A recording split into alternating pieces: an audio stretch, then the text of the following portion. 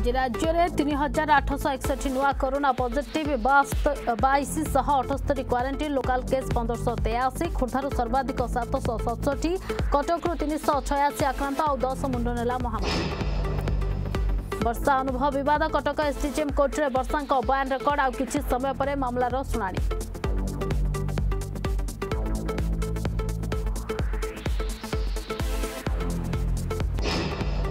ନାବାଳିକାକୁ ଅପହରଣ କରି ବଳି ଉଦ୍ୟମ ଗଞ୍ଜାମ ଚଷା ପିତଳରେ ଅଭାବନୀୟ ଘଟଣା ତିନି ଅଭିଯୁକ୍ତଙ୍କୁ ଗିରଫ କଲା ପୁଲିସ ଦୁଇଟି ଖଣ୍ଡା ଗୋଟିଏ ବାଇକ୍ ଜବତ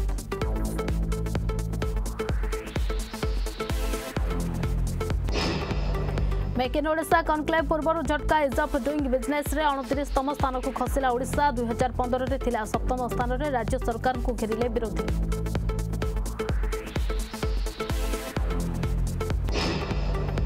ଶ୍ରୀମନ୍ଦିର ସୌନ୍ଦର୍ଯ୍ୟକରଣ ଅଭିଯାନକୁ ଧକ୍କା ଡ୍ରେନ୍ ପାଣିରେ ଭାସୁଛି ସିଂହଦ୍ୱାର ସମ୍ମୁଖ ରାସ୍ତା। ଭକ୍ତ ମହଲରେ ତୀବ୍ର ଅସନ୍ତୋଷ। ସେପଟେ ଭକ୍ତଙ୍କ ପାଇଁ ଶ୍ରୀମନ୍ଦିର ଖୋଲିବାକୁ ପ୍ରଶାସନ କରୁଛି ଯୋଜନା।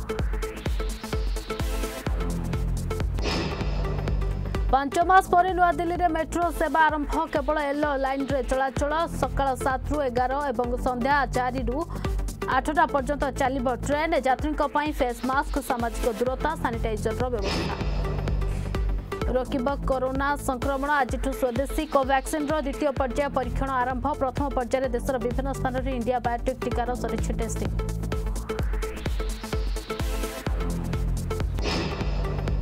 ଆଜି ରିୟା ଚକ୍ରବର୍ତ୍ତୀଙ୍କୁ ପୁଣି ଜେରା କରିବ ଏନ୍ସିବି। ଗତକାଲି ଜେରା ବେଳେ ଡ୍ରଗ୍ସ ଲିଙ୍କ୍ ନେଇ ବହୁ କଥା ସ୍ୱୀକାର କରିଥିଲେ ସୁଶାନ୍ତ ସିଂଙ୍କ ବାନ୍ଧବୀ ଆଜି ହୋଇପାରେ ଗିରଫଦାରୀ।